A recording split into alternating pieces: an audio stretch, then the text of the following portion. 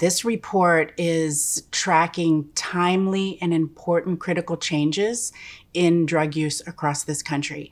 And it specifically is showing how methamphetamine use among people who are using fentanyl has reached an all time high. We're not seeing any signs of this slowing down, and it's adding a lot of fuel to the already fentanyl crisis in America.